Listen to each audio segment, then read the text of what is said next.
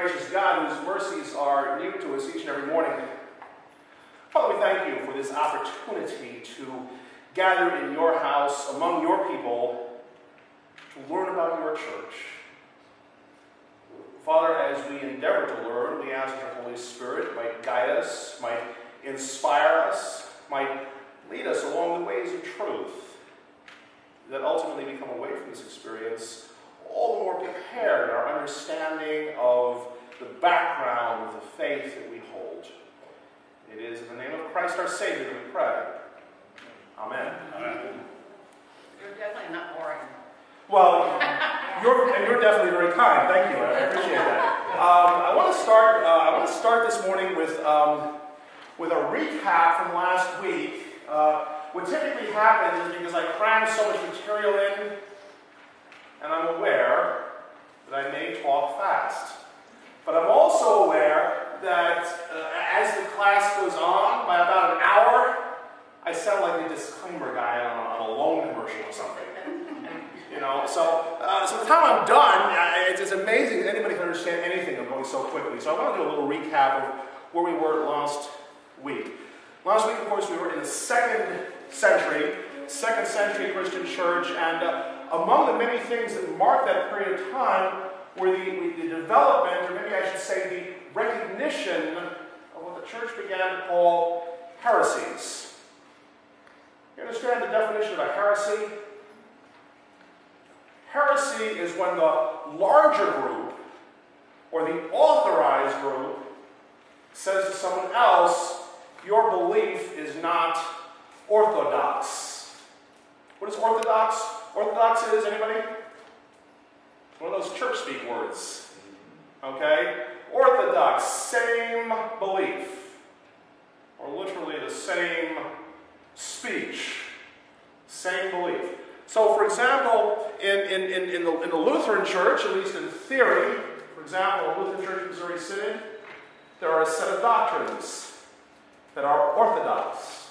the things which everyone is supposed to believe. And if you all of a sudden said, Oh, I believe something else, that would be outside of orthodoxy.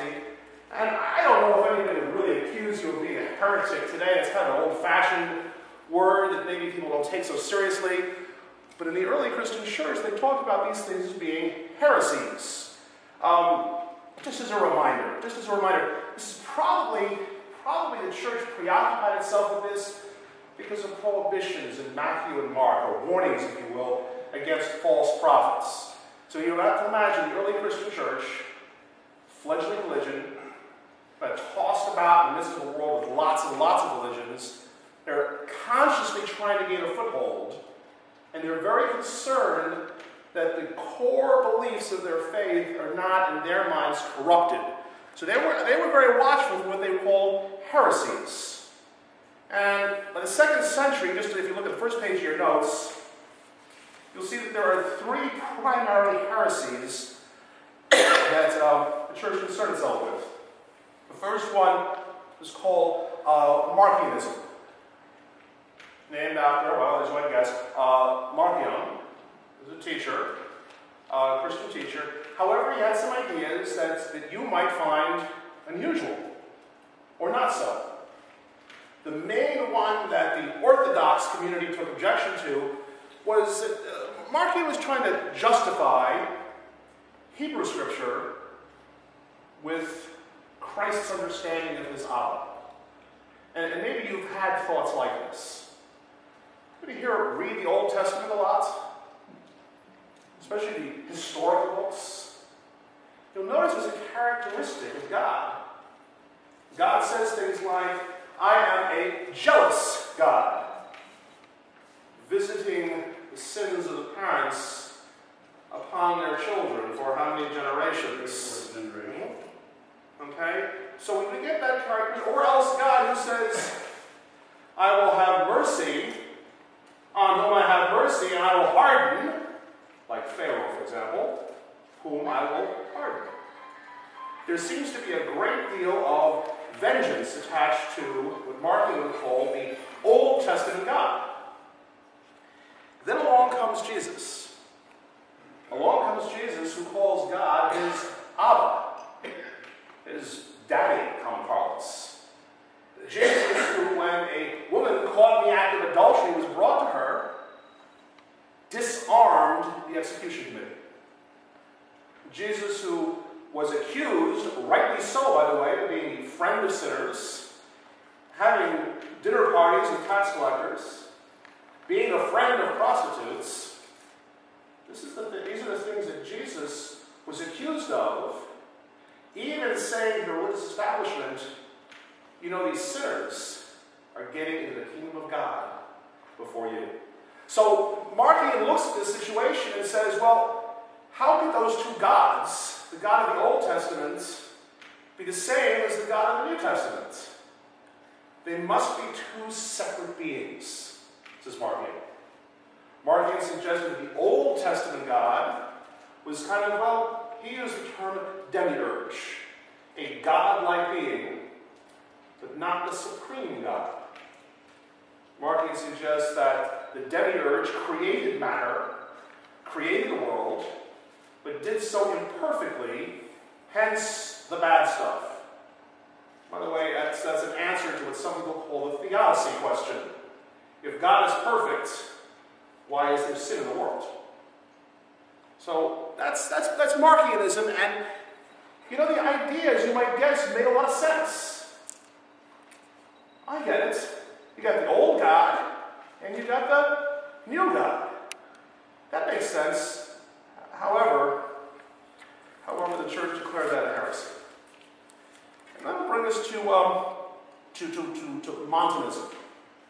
Now, now, Montanism is kind of an interesting philosophy, and uh, you have in your notes there that it is likened to modern day uh, Pentecostalism or the modern day charismatic movements. Why? Because Montanism relied heavily on the inspiration of the Holy Spirit. I talked about this last week, but just, just to remind you, you know, as, as, as a Lutheran, we would hold what is our ultimate authority? Bible. Scripture, right? It's one of the solas, one of the, well, I should say the soli, the soli of the Reformation, right? Sola scriptura.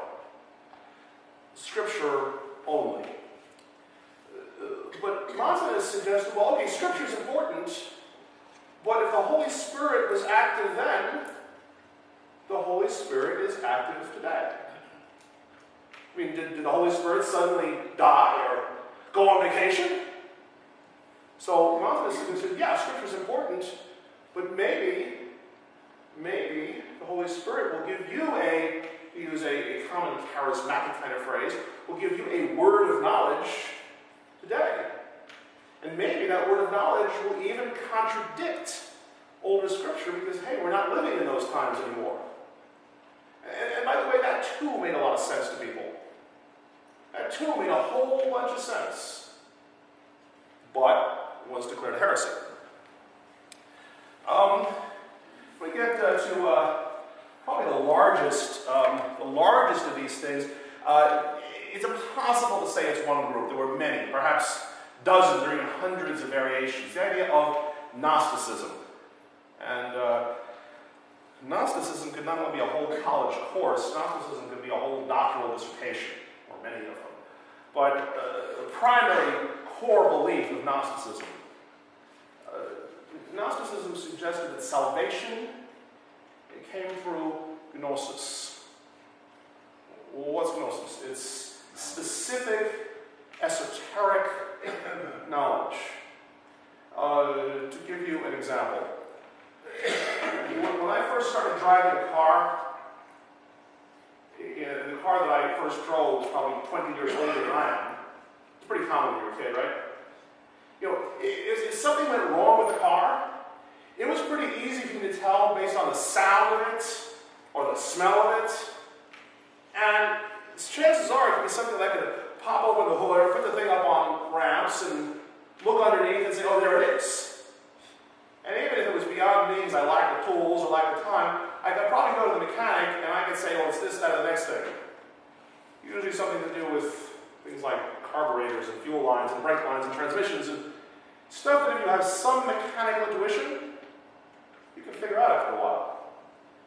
But even though I, I, I still drive older cars, because that's what you do when you're a musician, um, they're younger than I am. I'm afraid to admit, at least in people years. So, for example, my 1998 Mercury Grand Marquis with 360,000 miles on it, thank you very much. When I open the hood, even though by most people's standards that's going to be an ancient vehicle, I open the hood and I say, you know, it's going to take some special gnosis to understand this thing. Because I, am fairly mechanically inclined. But I look at this thing and it's like, whoa. It could be a rocket ship for all I know. You know? And the 2000, the 2007 Lincoln, which by my standards is a baby, with only 100,000 miles on it, I mean, that reminds me of looking at a nuclear reactor. What is this thing? You know, I go to a mechanic and they start speaking this language that involves computer sensors and all this other stuff, and it's like, you know, I'm, I'm pretty much back to the internal combustion engine. Okay? I mean, I understand things like, like, you know, cylinders and compression and stuff. I don't have the gnosis to really figure out how to fix a car anymore. So even the oil change, I have a professional do. Gnosis is special knowledge. You get saved by having the special knowledge that Jesus imparts. Where do they get that from? Well, Jesus was on a boat with his friends. Jesus is sleeping, sleeping like a baby. His friends are, at the storm comes up. These guys are professional fishermen. They know about water. They know about storms. It must have been a big one because they were nervous. They were afraid. They wake Jesus up and they say, Don't you care? Jesus will not perish. You're just sleeping through this thing. Jesus kind of looks at them, can almost imagine going, oh, It's just a storm. It's simple. And he just talk to it. Well, that's what Scripture says. He rebuked rebuke the wind and the waves. You know, you might not, what does it look like? Hey, stormy, cut it out. Windy, pipe down. What are you trying to sleep here? Jesus as shaman. Jesus as being one with God's creation. Because he had special knowledge of the way things worked. Or so the Gnostics would have said. So the Gnostics say Christ came into the world to impart the special knowledge. It's Gnosticism. That too declared a heresy. Um, I, I, bring all of that up once again because it's, it's the environment. It's the environment of the early church period. When we talk about things like early Christianity, it is a myth to say it's one thing. The other thing that's important to recognize maybe is that although these are the three main groups, there's probably a little bit of all of this and everybody's thinking. And although it might make me unpopular, or maybe more unpopular to say so, I, I, will venture a guess that that's true today. It, it might be true in this church, although I'm not going to test that necessarily. Speaking about broader Christianity, if, if I were to walk down the street, and by the way, young years, I have done this, and, and just kind of randomly strike up a conversation with someone, and say, Hi, uh, I was just wondering if you've heard of the this. If, if, you were to die this evening, God forbid, of course, do, do you think you'd go to heaven? And, and, the most popular answer that I ever got to that question was, well, you know, I, I, I like to think. I, I, I, I've been a pretty good person. I mean, I, I try to go to church. I mean, you know, I've done a few things. Uh, you know, I mean, a few little white lies, and you know, I mean, every now and then I get mad at my, my wife, and I may say some unkind things, and you know, I cheat on my taxes, but none of the biggies. I mean, I haven't killed anybody. Oh, Gee, that's nice. You haven't killed anybody. And my next question, you, mentioned going to church, so, so you're a Christian. Well, yeah, I'm a Christian. I try to go to church all the time, but I, I mean, I'm busy, I'm tired, sometimes I know it is. That, that question is always accompanied, if they answer at all, a list of confessions. But that's not the fascinating part to me. The fascinating part to me is these are people who go to church, profess to be Christians, and I don't care what kind of stripe of American Christian you are, or what atonement theory you subscribe to, but the general thrust of Christianity is you don't get into heaven, whatever that might be, by being a good person, by not committing any of the biggies, as it were. And yet, when you poll people, including, by the way, some elders in churches, that's the answer you get. Why? Because even though Protestant Christians have a 500 year history of another sola, sola gratia, so grace alone, works righteousness, you know, works righteousness, the Pharisees and all that, still creeps in. And that's a big point, but if I start getting into like little points, I mean, try asking Lutherans, even Missouri Synod Lutherans, what they believe about the Eucharist what's really happening when we take communion. Now, there's a doctrinal point to that, but then there's reality. How many Lutherans do you suppose actually believe that when they take communion, it is in fact the real body and blood of Christ, as opposed to representational? How many really believe that? I'm not asking for Okay. I mean, you can if you want. If you feel the need to confess, by all means, that's great.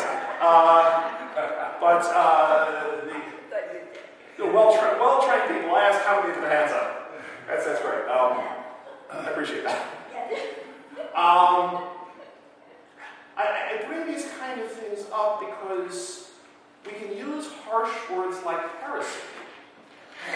But I want to suggest with a, to use a technical term, rubber hits the road, there's a phenomenon that if, if, any of you survive this course and actually decide to go to the Reformation history course in the fall, you'll hear me use this term a lot grassroots theology. Uh, I should have that copyrighted, but I don't really believe in that. So, uh, grassroots theology is what the person in the pew is thinking. Or better yet, the person who's not eating the pew, the person who was baptized, maybe went to confirmation class or First Communion or what have you, and calls himself Lutheran, Methodist, Catholic, Presbyterian, what do they actually believe? What trickles through after umpteen years of sermons and Bible studies and catechetical instruction? That's grassroots theology. Let me stop here so I can get a sip of water and any, any questions? Thoughts or comments? Anyone? I'm very sorry that we are late. Do you have any extra um, um, handouts? Your your paper? Handouts. Um, Are they in the back or? that may be it. If there are no, if there are no more in the back, I would say that we're probably out of them. Okay, good. So that's a good thing. But if you want your own copy, we can print more off. But Okay, thank you. thank you for sharing and let's then thank you all for helping us to run out of things. That's a that's a good sign. Yes, sir. You're uh, talking about the Eucharist. Yes. Uh, most of Jesus' parables essentially were metaphors. Sure were, yeah. And even his own Last Supper, okay, that initiated the Eucharist, was essentially a metaphor using his own words. This is my body. Literally, it was not his hand or his foot or a piece of his rib, okay? Presumably. This is my body. This is my blood. Okay? This do as often as you do it in remembrance of I me. knew you were going there. No, it's good. Okay? I mean, That's very that's very Calvinist you. No, seriously, uh, not all facetious. Um, that's kind of Calvinist or Reformed church reasoning. Right. By the way, a little preview.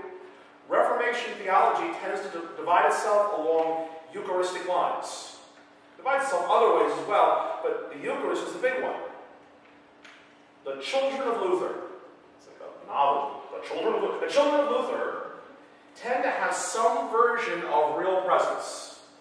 In other words, for the believer, the Eucharistic elements, the wine and the yassia, the, the bread, are really, really, really the body and blood of Christ. As opposed to the Reformed camp, the children of Calvin, or even children of Zwingli, if you prefer, tend to believe that it's representational, hearkening to the do this in remembrance of me part, suggesting that the reception of the Eucharist has spiritual efficacy, perhaps, but is in fact not an actual taking of Christ's body and blood. So that's a huge division along the Reformation lines. Anybody have an idea, by the way, what the early church at this particular point believed? I wasn't there. At last we have an Israelite in whom there is no guile. Uh, actually, it's, it's, it's, it's, it's actually a good answer because they probably didn't know. They were still talking about these things. A- Actually, that wasn't even the main discussion. They just accepted, talk about obedience, they just accepted Jesus said do this. It's important. They had some inklings of the spiritual significance. Paul talks about that. Paul talks about the spiritual efficacy of the Eucharist, although he does so in, in, in not necessarily uh, overt terms. You have to, like a lot of Paul, you have to kind of uh, work through it. But an actual doctrine of what's happening, an actual mechanic, if you will, what are the mechanics of this? That's going to have to wait for many centuries. Uh, just a little bit of cultural and doctrinal humility this early church doesn't really know, and they were there, presumably, but they don't know. And, and they're not asking those questions. Let me ask you other questions. Uh, other, other questions before I move on? I realize there's probably not one simple answer to this. There never is. At, at this point in the early church, what happens to these people that follow these heretics? What, are, are, are they persecuted by, by the early Christian Um, church? they're, they they're not, they're not generally persecuted in the sense of people trying to hunt them down and kill them. At least other nominal Christians are not doing this to them. However, they may be expelled from the community. We'll, we'll hear about that a little bit when we talk about the church fathers, what, what kind of happens. They're, they're not, we're not yet at the point, we're not yet at the point where we have trial by ordeal. That's, that's, that's, that's a little later, fortunately for them. Uh, however, they might be, depending on the nature of the heresy, they might actually be expelled, as in, you're no longer welcome to worship with us. That was a typical kind of thing. And if they had enough personal charisma, as we'll see in a moment, they probably just started their own group. They just started their own, they didn't have this word, they started their own denomination. Um, But Jesus, Jesus knew this was going to happen. Because 90 AD-ish, okay, the book of Revelation to John, send the letter to the seven churches. And the letter to the seven churches picks up on exactly this following false teachings. Uh, you better wake up, you've lost your true love, uh, and on and on. Yeah, we, we could actually we could actually probably take it a little bit earlier to about 60 AD. Paul writing things like now this wasn't necessarily structural, this was more individual, but it is the roots of it, I think. Paul writes, Is Christ divided? Is, is the body of Christ divided? Now, this is a baptismal issue mostly, but already uh, Paul is looking at the fact that there are divisions in the church divisions based on, in that particular case, who baptized whom. And Paul goes ahead and writes, you know, okay, so some of you were baptized by Cephas, that's Peter. Some of you were baptized, by Apollos, you know, a long list of people who were baptizing. Then he goes on to say, boy, I'm really grateful that I didn't baptize anybody. Oh, wait, I, I did baptize a couple of you. I don't really remember who I baptized, but it's not really important. He goes on to basically suggest that this business of division, this business of division is a most egregious error. Because what, is, what does Christ do in the Gospel of John? Pray that they all may be one. As he and the Father are. Yeah. So, so, so yeah, already there's going to be, already there's some early signs of, of, of division. Okay, let's go on and move on to the historical background here. Uh, historical background, page two of your notes. I hope it's formatted the same way. Uh, there we go. Okay, uh, Christianity did not develop in a vacuum. And we talk about the um, talk about the inspiration of the Holy Spirit. We can talk about God, God's hand guiding the church. And far be it for me to dispute any of that. But historically speaking, there's a lot going on that, humanly speaking, affects the development of the church. Uh, now we'll talk about, since we're talking about the third century today, this thing called the imperial crisis. You've all probably heard about the Roman Empire, right? Roman Empire ruled the known world at the time. Okay? They were the overlords of the Hebrew people, among other nations. Well, come 235, there's this period where the Roman Empire almost disintegrated, almost collapses. Um, because what happens is that the Kaiser is executed, Severus is executed, and now we have this 50 year period where there are 20 some odd military individuals who are all claiming to be the emperor. You, you think our politics are complicated? Yes, Oh, they are. We're not this complicated, okay? Because you may think that our, our Congress is at times, dare I say it, confusing and ineffectual.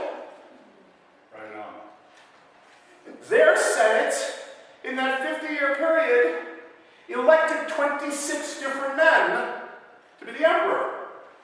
26 different people over half a century. Talk about confusion. I, I guess if you were a person who made coins, it might have been your best, you know, your best period.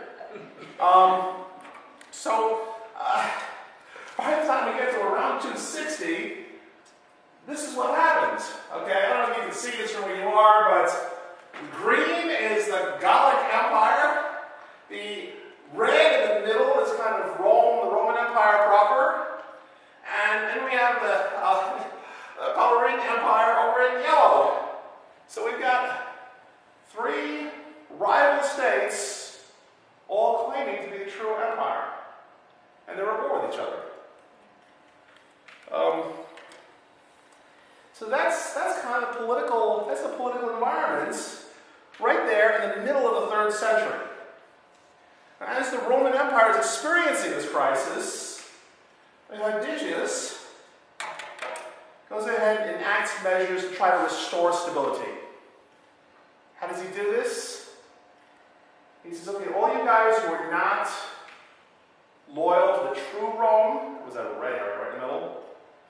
Not only are you being disloyal citizens, you're also being sacrilegious. Because don't you remember now that the Roman Emperor, the Roman Emperor is a god.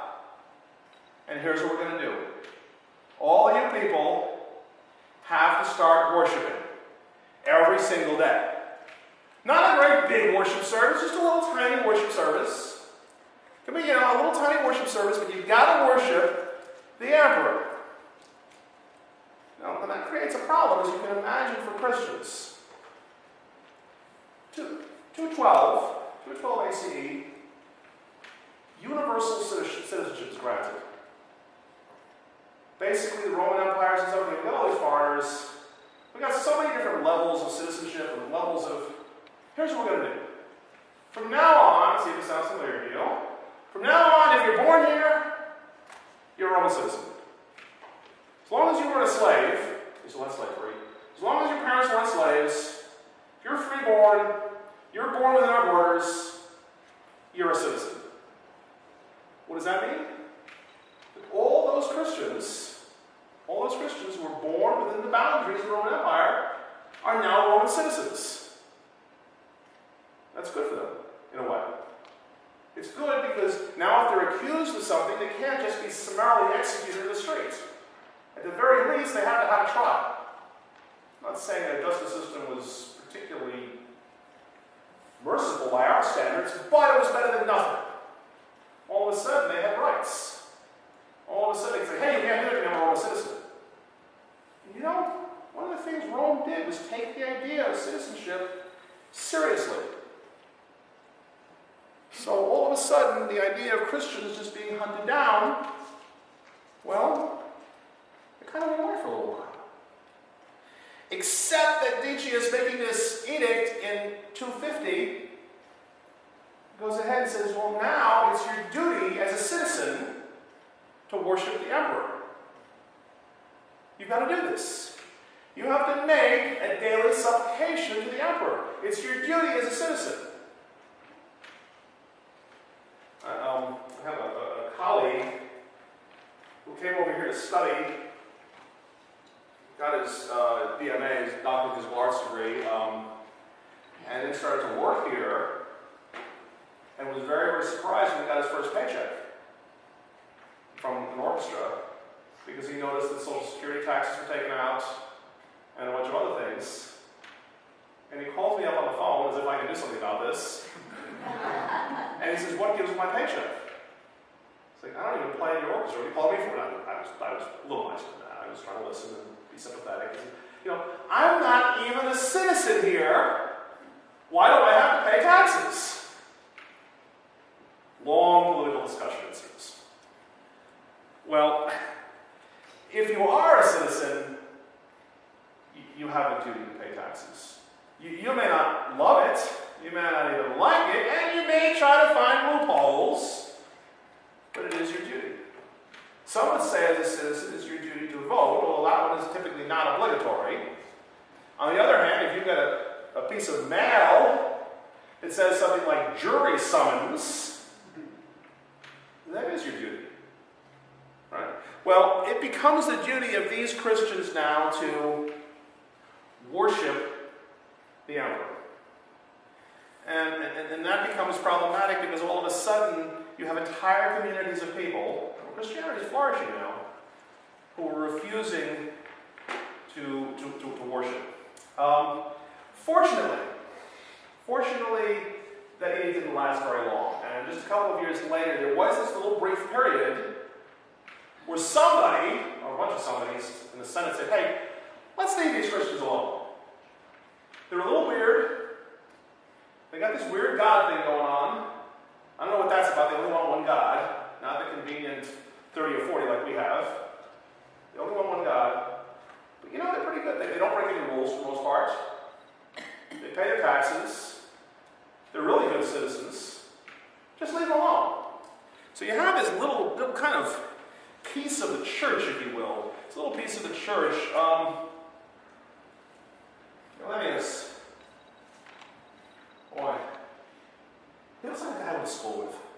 Um, he, uh, he goes ahead and he, he issues his first edict, his first edict that is accepting, officially accepting of Christianity. Official statement, government statement. Christianity is a real religion. It's okay. Now, on, on page four, I've asked a question there. This acceptance by the world, acceptance by the world, for Christianity, a, a good thing or a bad thing? You know, prior to this, you know, the, the idea of Christianity being persecuted within the first 400 years of existence is, is not untrue, but it is largely overstated. The idea that Christians were persecuted from the resurrection of Christ through Constantine consistently is a huge overstatement. However, there were periods of persecution. Now you have this period, this kind of little piece of the church, about four decades long, you have this little piece of the church, and Christianity is okay. And by the way, we'll end this course with a study of Constantine's time. We'll discover that Christianity all of a sudden goes from being an outlaw religion to a kind of accepted religion to the religion. Is that a good thing or a bad thing? Well, the state religion takes all the guesswork out of everything. That's a way of putting it, yeah. yeah it does. It's, it's like a lot of European countries. Sure. They, they have state religions. And I've been in a few of them. Okay. And they have these great edifices, and nobody's in it. Yeah, I've had that experience. Sure, yeah. Yeah, I've been there, yes. Yeah. Uh, like Iceland, for instance, I've got my grandchildren in Mhm. Iceland. And they have a humongous, beautiful church in Reykjavik.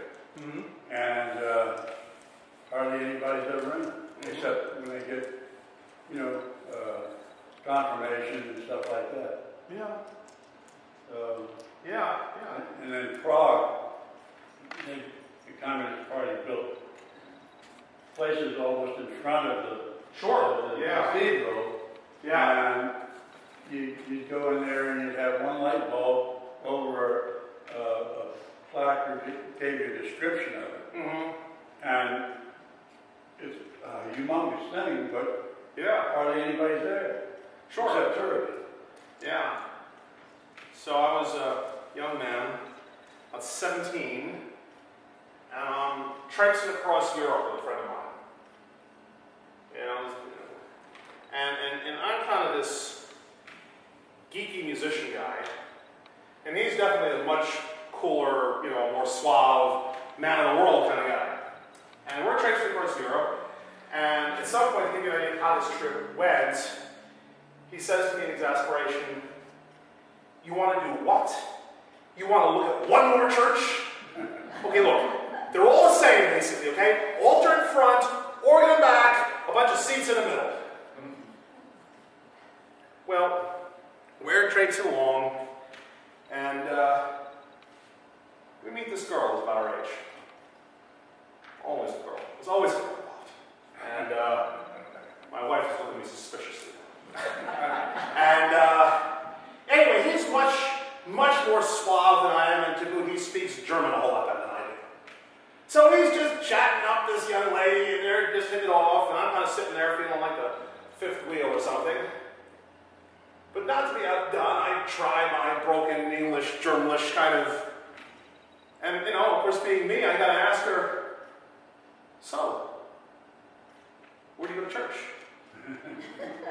My friend looks at me like, yeah, big way impress. and uh, she kind of shrugs her shoulders, and you know, and then I ask her again, broken German, whether you know, because I figure it's got to be one or the other. You know, either we got Catholic or evangelical. You know, Catholic or Lutheran. That's kind of the menu there. And And she looks at me. She was very polite. I mean, she said, I don't know. She, she was about 17, about our age, and she said she had been to confirmation of some kind, but she didn't actually know whether she was German, whether she was, no, she knew she was German. She didn't know if she was Lutheran or Catholic. Now, it's possible she may have just figured I was a total just pulling my leg. But even if that was the case, I realized that that piece of information was not particularly important to her. And she wasn't a stupid person by any means.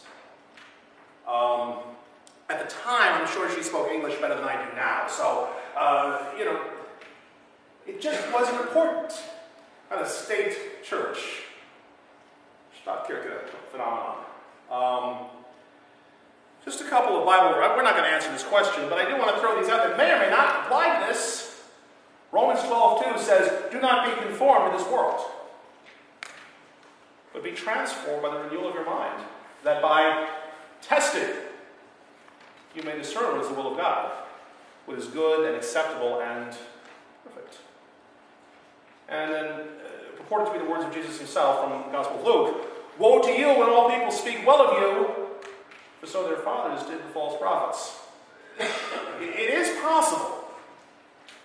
It is possible that acceptance by the powers of the air, the powers of this present world, may not be the best thing for the church. But we'll, we'll talk about that in a couple of weeks. Um, okay, the, the, this era of coexistence, by the way, ended when Diocletian launched what we're going to call the Great Persecution. And by the way, this is probably what you think of.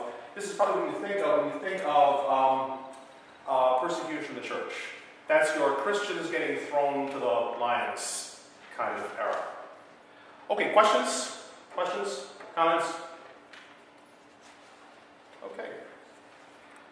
So let's talk about what's happening within the church at this time. Um, I want to start, uh, told you about the, uh, we'll call the ante-Nicene fathers. And just a, a, technical note, that word, that prefix, anti or ante, A-N-T-E, means before. Anti, A-N-T-I, means against. So just, just to be clear this up, because sometimes those things get, get confused. Um, so here's what happens. Um, as, as Christianity spreads, remember, Christianity is spreading mostly in the Hellenic world. It's spreading mostly in the Greek world. And one of the things that's interesting about it is that it attracted a lot of very well educated Greek folks. A lot of scholars. A lot of scholars, particularly scholars of philosophy, became Christian. And, and it's those folks and their children who became known as the, the church fathers. Um, they, they wrote a lot. By the way, if you're wondering, how do you know this stuff anyway? It's because these people wrote a lot. They wrote a lot, and, and they don't all agree with each other.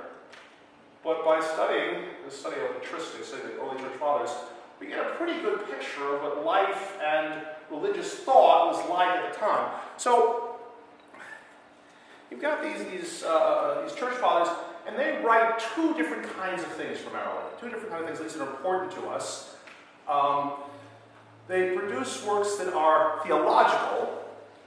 In other words, they're writing about they're writing about the nature of God.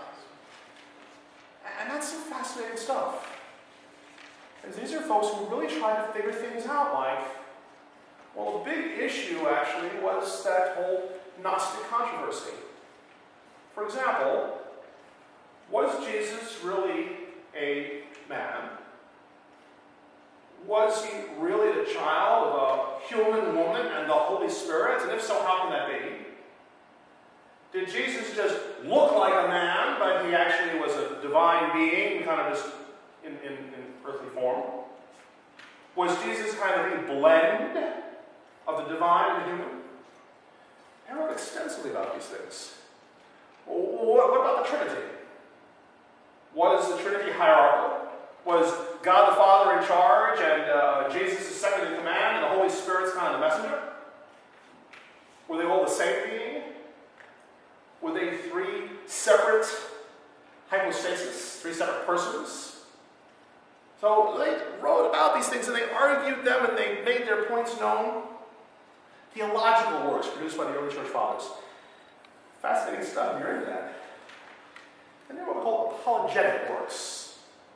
By the way, apologetic in the, in the old sense of the word you know, apology we think of is if I go ahead here and I go ahead and I accidentally, like, I'm just talking, I boom, hit Russ, and I say, oh, Russ, I'm so sorry, I didn't mean that. I'm not buying new pair of glasses and everything, I'm so sorry. That's what we think of as apology. But, but the original meaning of apology is, is, is explanation. Defense. It- yeah, yeah, that's probably the real root of it. Apology is, is uh, a defense. For example, in, in modern times, we talk about C.S. Lewis. You know C.S. Lewis, Narnia, and all that kind of stuff, okay? Screwtape letters, all that good stuff. C.S. Lewis is thought of as a Christian apologist.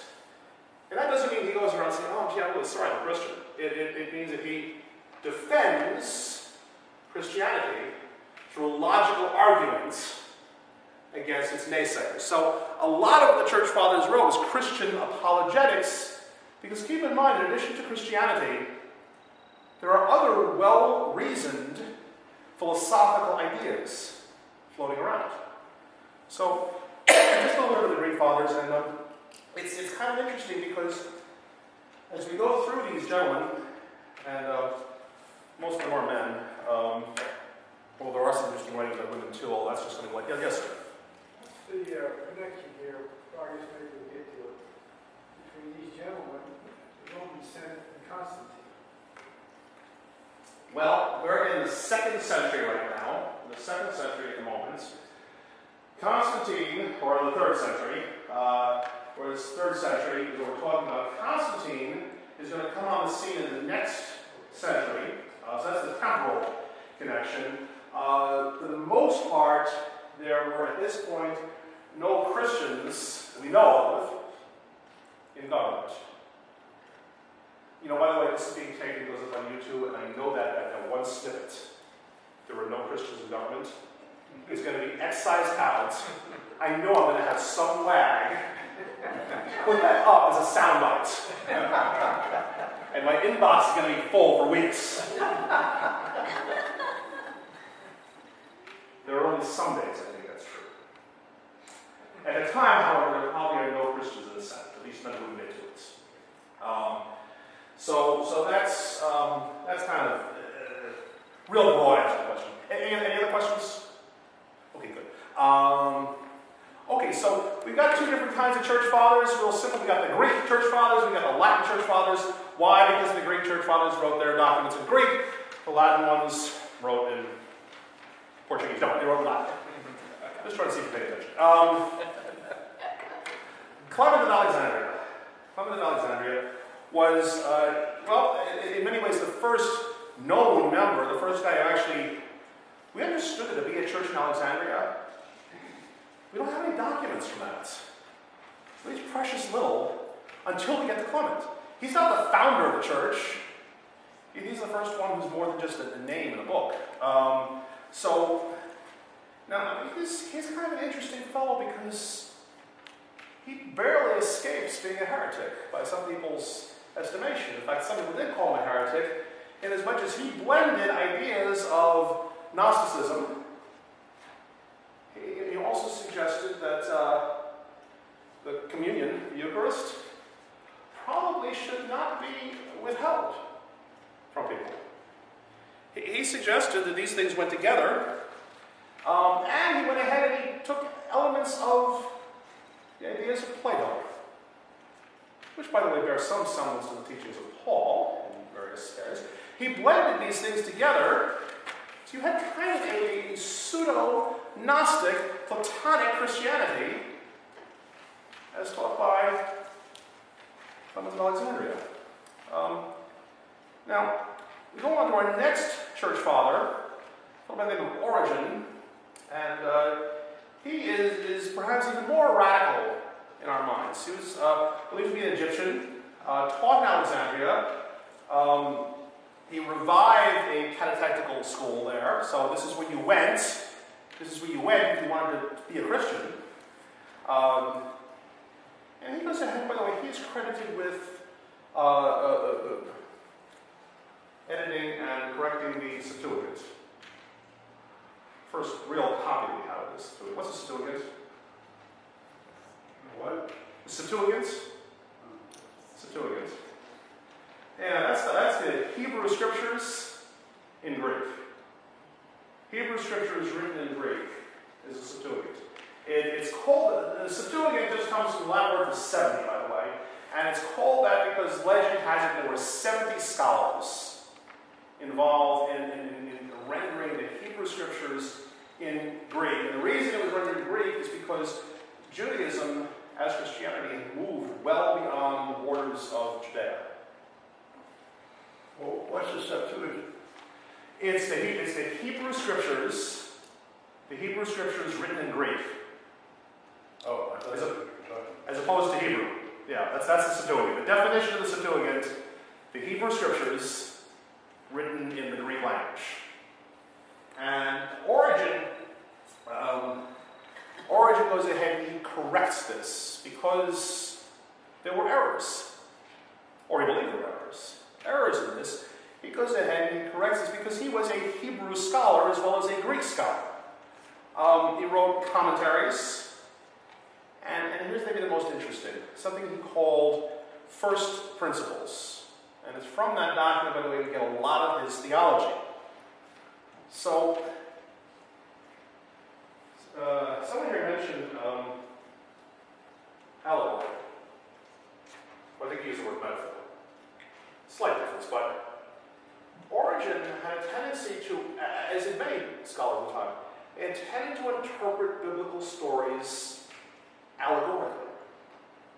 So, for example, ironically enough, in our day and age, we might hear the story of the flood. As in all the animals, two by two, and all that kind of stuff. And, and we might tend to look at that, we might tend to take it at face value and say, well, what happened is that God got really angry at how wicked the world was, decided he had enough, decided to save one family, and keep enough animals to repopulate the world.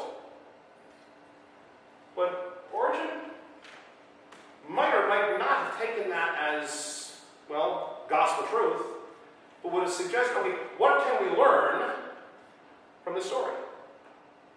What is its inner meaning?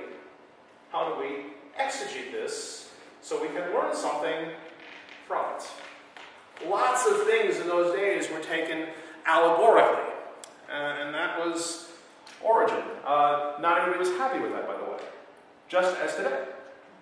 You, you know this, I'm sure. Just as today, Christianity tends to divide itself right and left, not like that dirty word politics. There are folks who will take biblical stories and say, okay, this has an allegorical meaning. And there are those who will say, no, no allegory, it's just a history.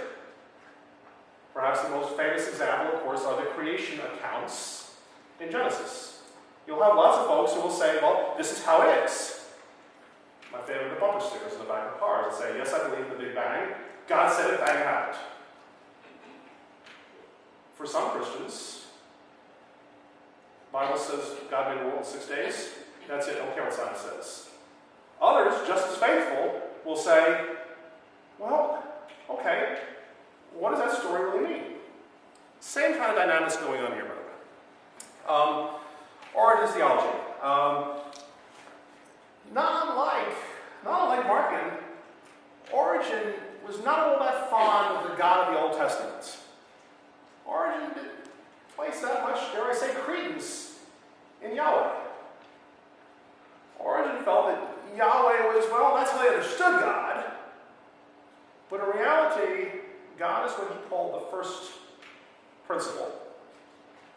Sort of reminiscent of a prime mover will happen many, many hundreds of years in the future from this point. And it goes on to suggest that Christ, the, the Logos, the creative word, is subordinate. There's a Trinitarian argument for you. Subordinate to the first principle. Um, also taught, by the way, that, that matter, physical substance, is just a temporary thing. all beings are ultimately destined to be spirit beings, says Origen. Um, also taught a few other things. Uh, you can see it in your notes there, kind of fanciful phrases that I pilfered from him, but he essentially taught that souls pre-existed. In other words, before you were born, you had a soul. It existed before your soul was put into your body.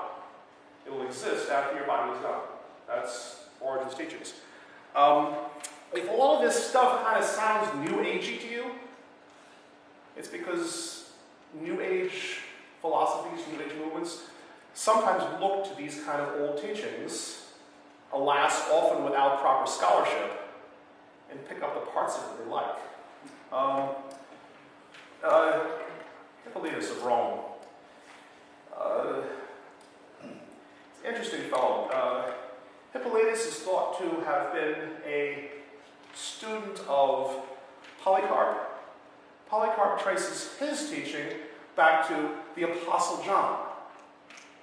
Now, he's an interesting, he's an interesting fellow, and, and, and Lutherans, you may, you may like Hippolytus because he is thought to have been the first uh, anti-pope, different spelling, Antioch. Already by this time, we have Rome beginning to assert itself, specifically what we would say called the Diocese of Rome. The Roman bishops saying, hey, okay, all you other bishops, you guys are important, but we're the most important. And, and, and not everybody in the church responded to that. That's a doctrine that doesn't assert itself formally until much later. But even here in the third century, you have Rome already beginning to say, hey, the Bishop of Rome, he's kind of in charge because he gets his authority through apostolic succession, talked about that last week, all the way back to Peter. Um, Hippolytus didn't like that idea.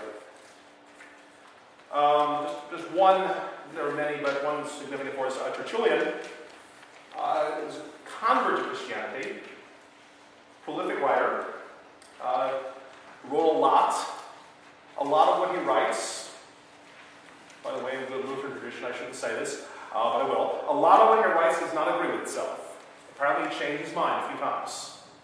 Um, changed his mind so much that uh, it, it, turns out that towards the end of his life, he converted to one of the groups in his earlier years he considered to be a heresy.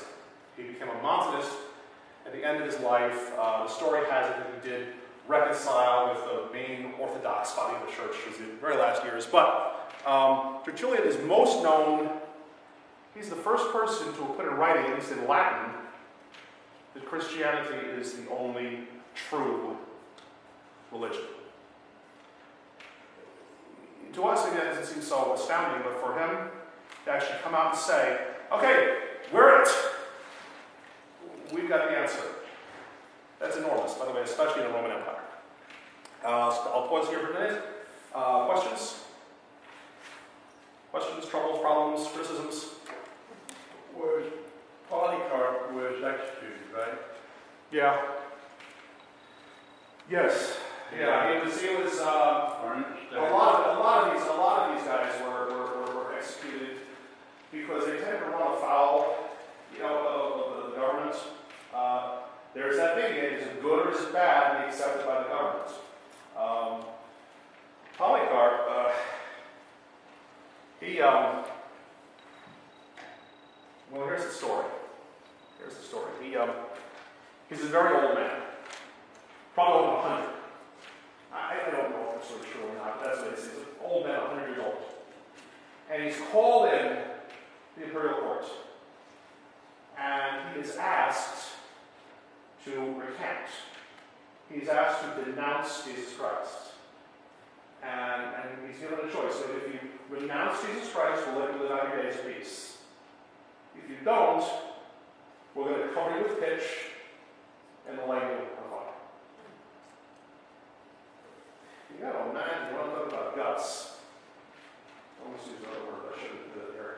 Uh, when I'm talking about guts, so Polycarp says, 100 year old man, for all that Jesus has done for me in my life,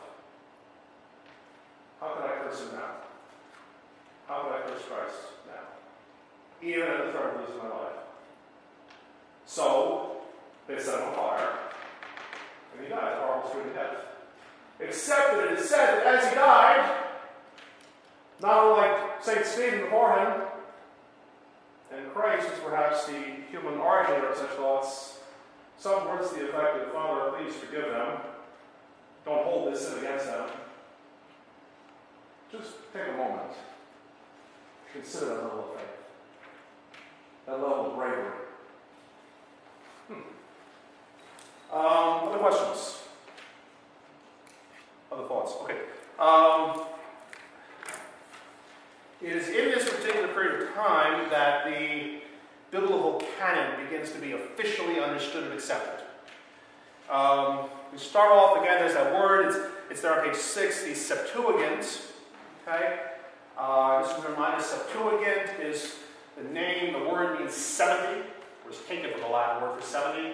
Um, it's, it's the 70 scholars who the legend has it put this thing together, who worked on this translation. Um, and that forms the basis. That's kind of interesting, right? The basis of Christian scripture, the Hebrew scriptures rendered in Greek. And that's the first thing that Christians could agree upon the Old Testament. And then we get some of the books of the New Testament, and at this stage, the third century, 200s, there is still some that are in dispute. You can see I've written them out there for you. Hebrew, James, 2 Peter, 2 John, 3 John, Revelation are all in dispute. It's not that they're disputed that they thought, oh, they're not true, or that they're not. It's just that they thought, well, should this really be canonized? Should this really be considered to be the Word of God? For example, there are lots and lots of writings from this period that you cannot find in your Bible. Um, I'm pretty sure that no sermon or paper that I ever write or speak will ever find, find its way in some future version of the Bible.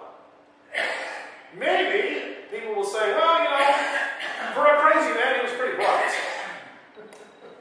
But everybody's going to understand that, well, that's just a guy speaking. Maybe, you know, there's some inspiration of the Holy Spirit there. But mostly it's just a guy talking from spending a whole lot of time with a whole lot of dusty old books. And a whole bunch of slightly outlandish opinion. And that's what people probably say about my writing. Well, I'm in good company because Huldrych Zwingli and John Calvin and Martin Luther have also not been included in Scripture. Even Lutherans do not include 50 some odd volumes of Luther's works in Scripture. Because although we may say that Martin Luther was inspired on some level by the Holy Spirit, we do not hold those things up to be canonical Scripture. And, so what is that? There are a lot of good things to read. Revelation, for example. Yeah, it's, it's a good, one. it's a little, a, little out there sometimes, kind of science fiction eh? but it's pretty cool. Meantime, it's pretty cool. Should we include this as the Word of God? By the way, just one note on Revelation. Um, 1500 years later, Martin Luther felt that Revelation should be removed from the canon of Scripture. You may have heard that.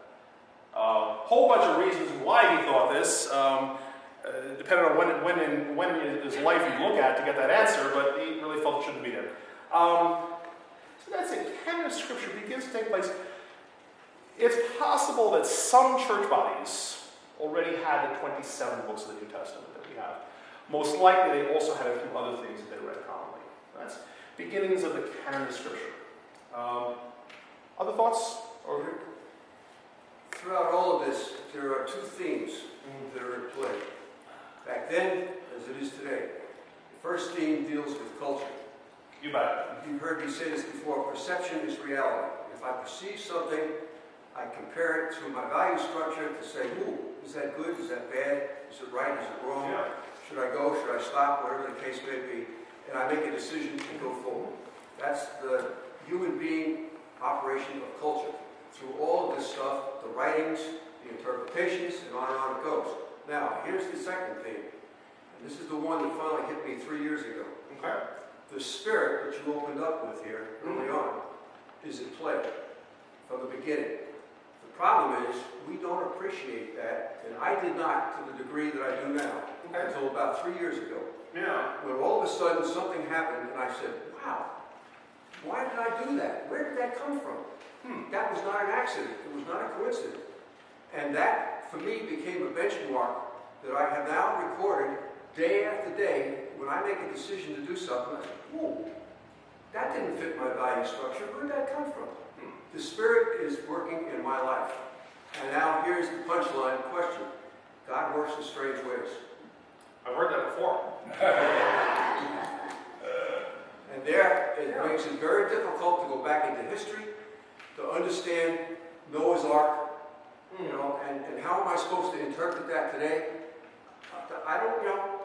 Spirit, you tell me. I go up for communion? Because it reminds me of what I'm there for, that He is alive and working in my life. Pretty good. I appreciate it. I appreciate that um, testimony.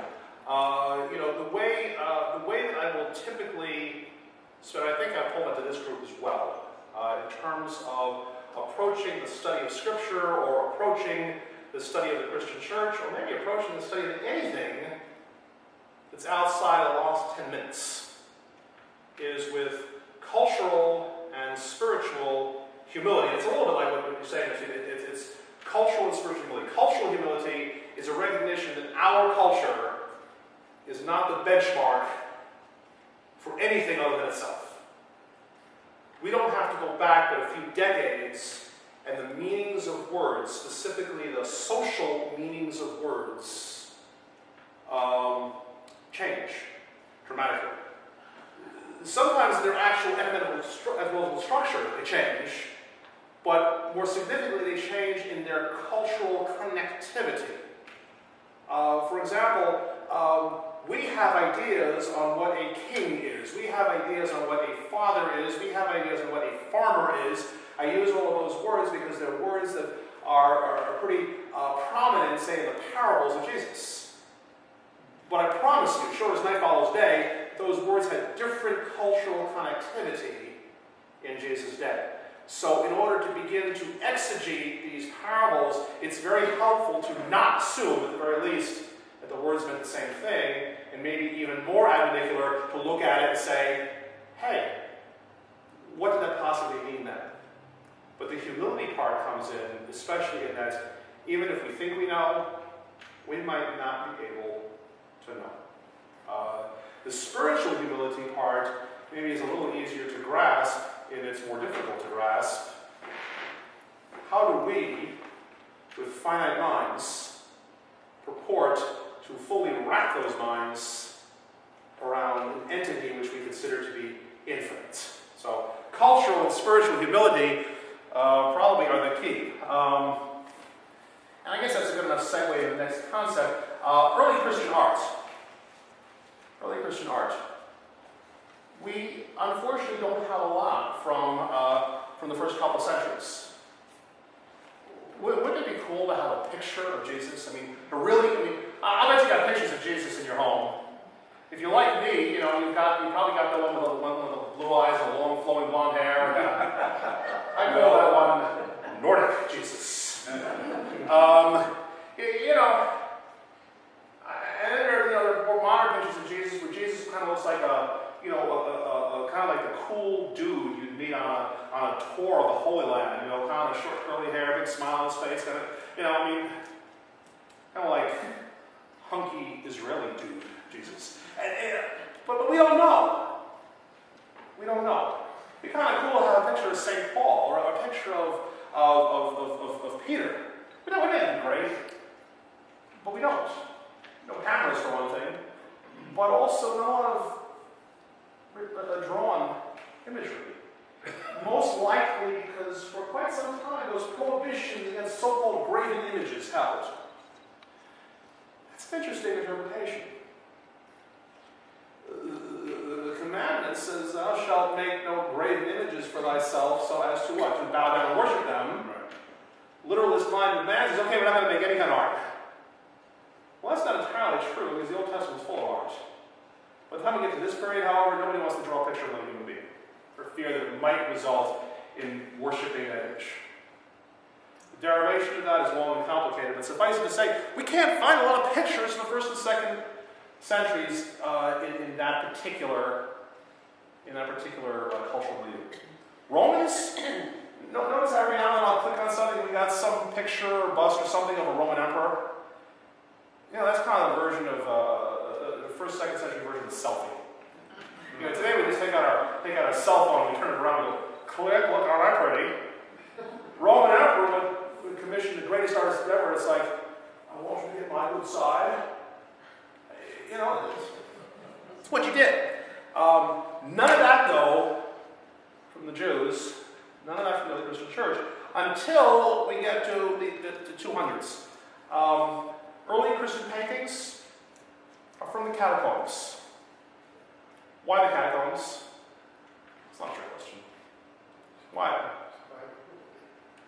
A Couple of reasons. Number one, Christians really did worship in the catacombs.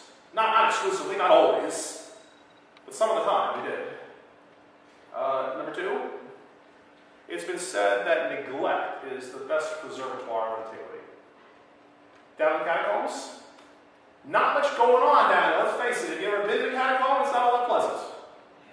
Okay, also the action of oxidation, the action of wind and storm and sunlight. It's less prevalent. So that's one reason. The other reason, Christian church, absolutely huge on the concept of resurrection. The dead being raised to new life. So catacombs, these gloomy, stinky places, repositories for human remains, hold special significance. That's where we find the first Christian art. Here's a couple of, couple of slides. Um, let's see if I can see the work.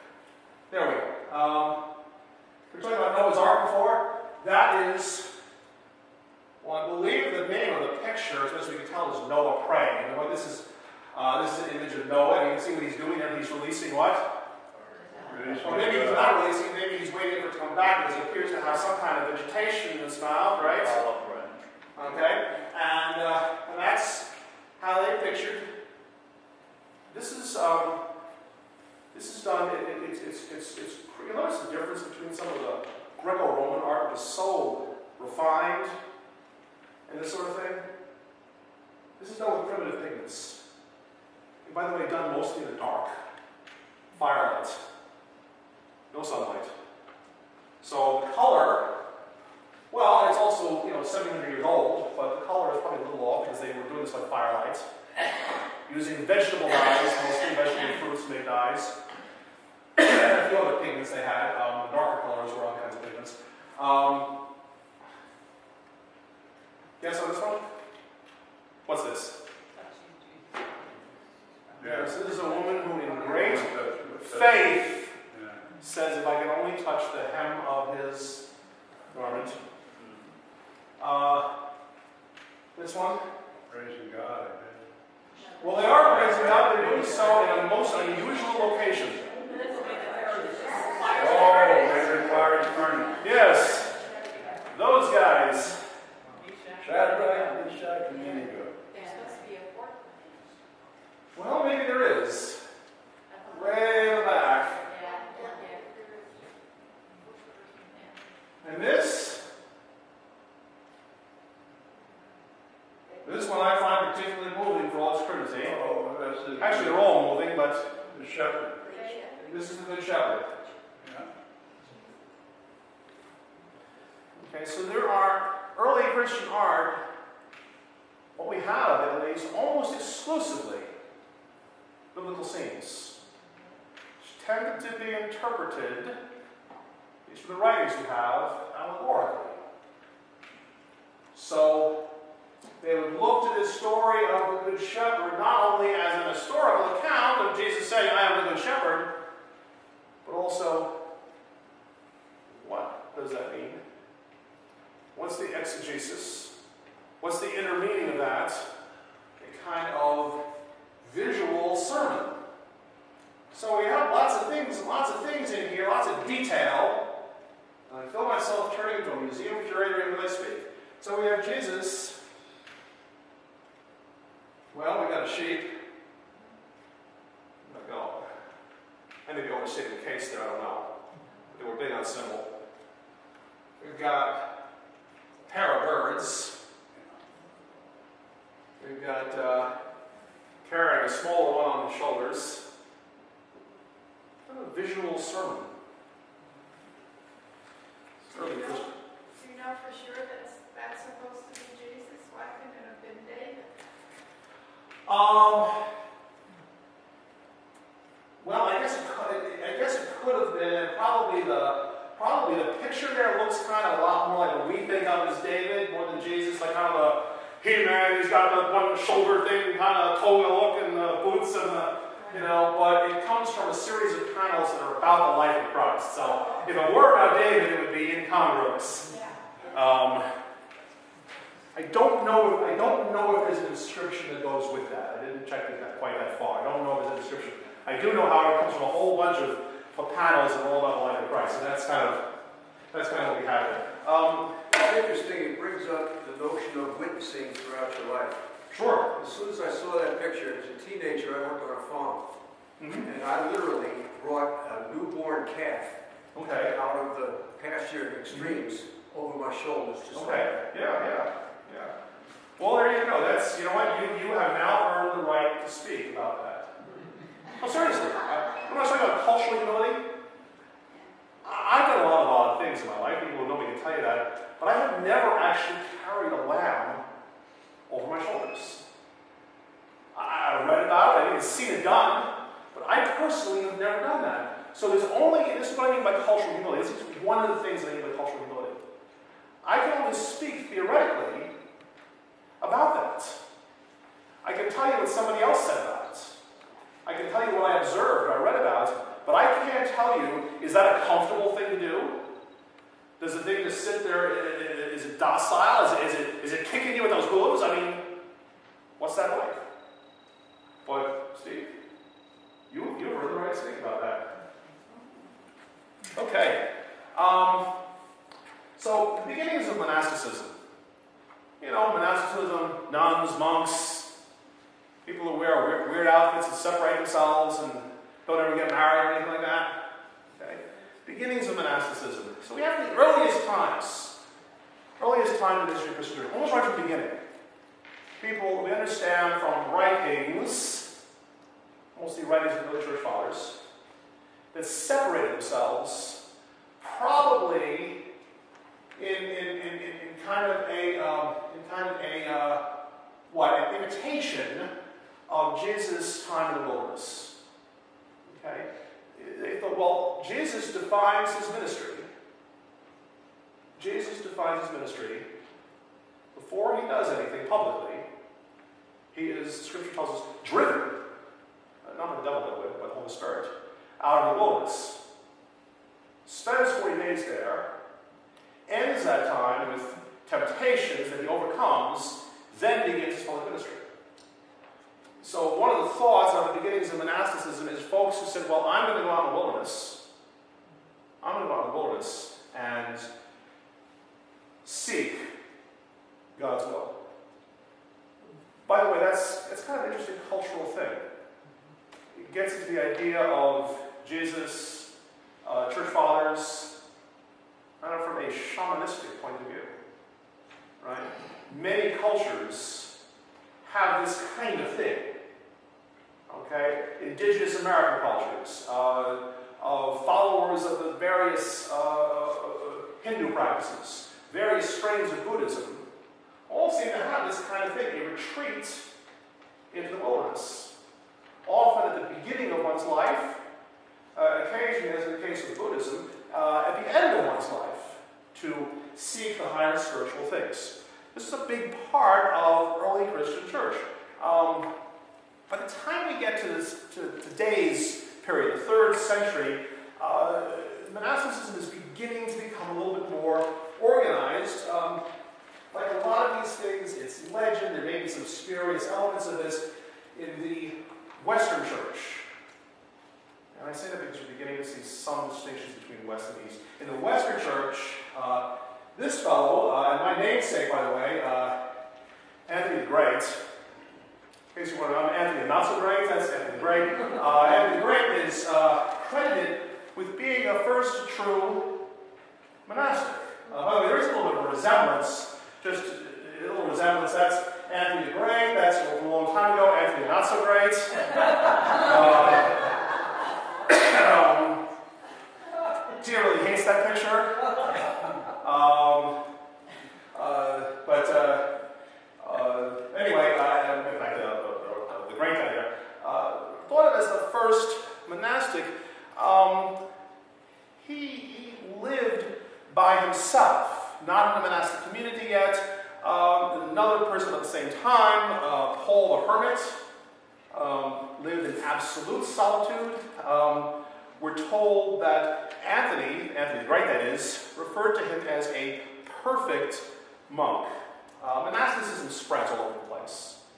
Um, how we get to the next century, the century after that, we're going to get into some orders of monks, and that's going to do a lot, by the way, for developing worship practice. But that's that's next week. Um, moving along here, I see we're running short of time. Uh, moving along, I just want to talk a little bit about some of the doctrinal differences. Uh, well, picture. Uh, that picture.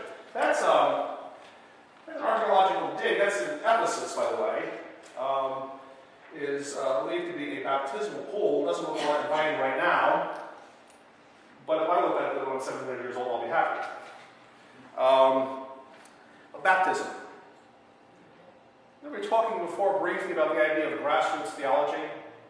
There's what the church actually teaches, and then there's what, the, what comes down in the pew and ultimately out onto the street. Baptism. A few ideas that were floating around the time. A fairly prevalent idea, which I'm sure will sound alien to you. At least I hope it'll sound alien to you on some level. After you've been baptized, there's no more forgiveness of sin. That's it. You've been baptized? Let's say Steve is a follower of uh,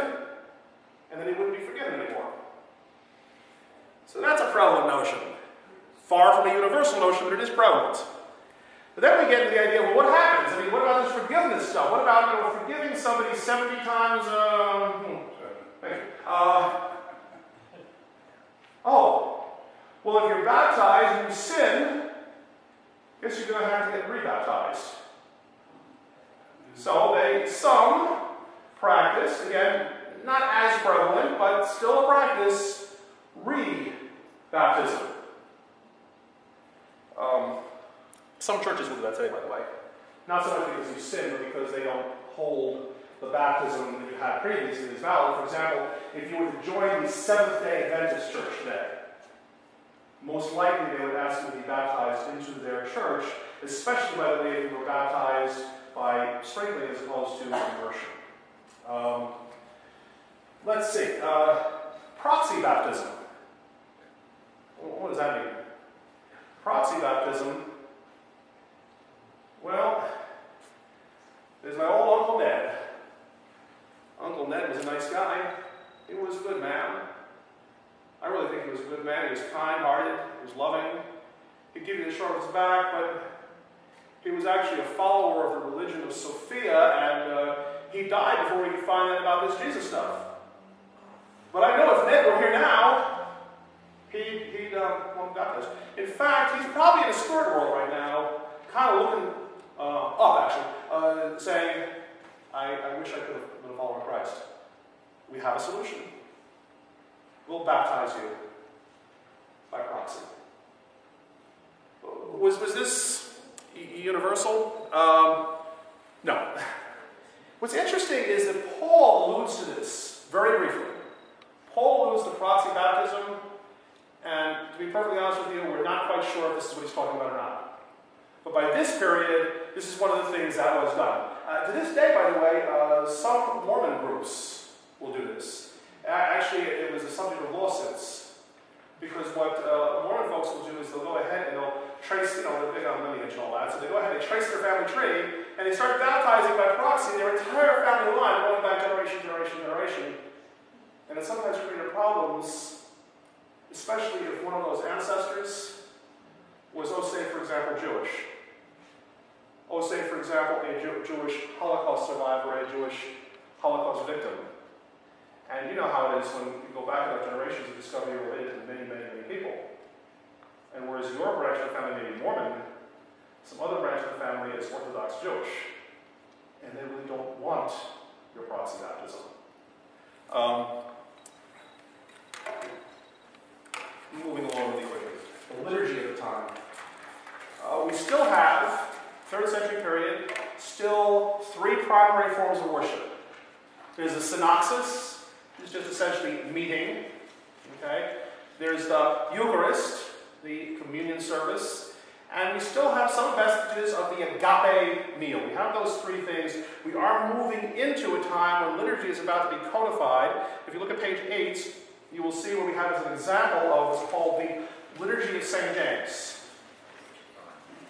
Liturgy of St. James doesn't get written down in a permanent form for many hundreds of years later. But historically, it's been held that this is the earliest Christian liturgy. It is controversial. Okay? Some scholars would say this goes all the way back to 60 AD. This is the liturgy that St. James presided over in Jerusalem. Others suggest that is a complete fabrication, and in fact, it doesn't get written down until the 4th century. What's the answer? Uh, probably yes. Probably some combination of all of those things. But this is what it looked like, okay? So you have these things, and they look a little weird to us. Again, words we understand, um, but I want to read a little bit of this to you. Um, uh, this was what's called a prayer before the doors. In other words, before you even came in.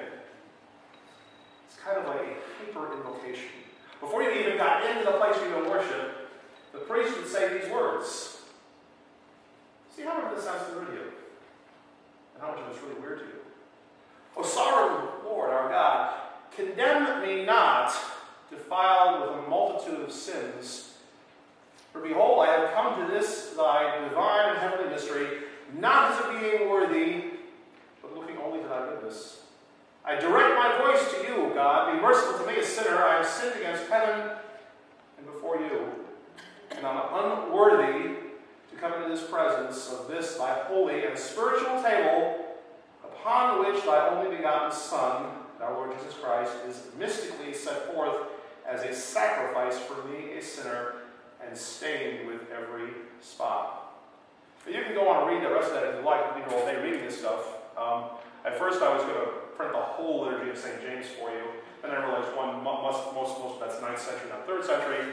Plus, we go through reams and reams of paper to do it. Um, but how much of that sounds a lot like, I, a poor merciful sinner, confess unto you my sins and iniquities with which I have ever offended you, and justly deserve your present and eternal punishments. That's a lot like it. At least it's the same sentiment. Just to make, make a point here, this is what they did and said, the time we get to the third century, before we even come into God's presence. Um, there's another prayer. There's a prayer uh, of standing beside the altar. I put that in there just for uh, just a, one of the earliest examples of the Trinitarian formula. You know, Trinitarian formula in the name of the Father and the Son and the um, I can tell the old time Lutherans are because they say Holy Ghost. Um, and this, this too is, is familiar yet strangely unfamiliar. Glory to the Father, the Son, and to the Holy Spirit, the triune light of the Godhead, which is unity subsisting in Trinity, divided yet indivisible. For the Trinity is the one God Almighty, whose glory the heavens declare, and the earth his dominion, and the sea his might, and every sentient and intellectual creature at all times proclaims his majesty. For all glory becomes him, and honor and might, greatness and magnificence, now and forever, and to all eternity. Amen. An interesting admixture of Athanasian, Hebrew, and Platonic thoughts. Um, there it is, early Christian church prayer. First example, or one of the first examples of the Trinitarian formula being invoked in worship. Okay, what follows next on the last two pages of your uh, of your handout, which we're not going to go through, is a, a timeline. Uh, a, a, timeline of the, um, the third century. Uh, far from exhaustive, at least hitting the highlights. Uh, I, I, would um, beseech you, since this is not a college course, I can't say I insist, but I would beseech you to read this for your homework to prepare you for next week should you decide to undertake such an endeavor. Um, last slide. Uh, last slide. This is probably one of the earliest Christian, um, one of the earliest Christian inscriptions. Uh, uh, the fish of life is what the top part. the Top part is in Greek. It says the fish of life. Isn't that unusual? You've heard of the bread of life, the fish of life. By now you've probably heard that a fish was the, was the symbol for Christ. Okay? Uh, actually, there's lots. There's, there's uh, verbal allegory, but there's also visual allegory. Um, uh, early Christians may have used, may have used, that's supposed to be an anchor, I, I think. Um, anchor is one of the things I've become accustomed to knowing about these days. Anchor uh, symbol for two things. One, crucifixion, because if you really use your imagination, it kind of looks like a cross. Um, but it's also Christ, the anchor, the root. The bottom part in, in, in, Latin is kind of interesting because it's a mixture of political and theological. Uh, the first phrase there in Latin basically is uh, an inscription to the fact that this is the family plot. This is our land. As in, this land is my land, it is not your land. And the second part of it is decidedly Lutheran. Lived not by merit, is what the second part of that says. Um, that'll bring us to an end here. Before I close with prayer, any, any questions or thoughts or troubles?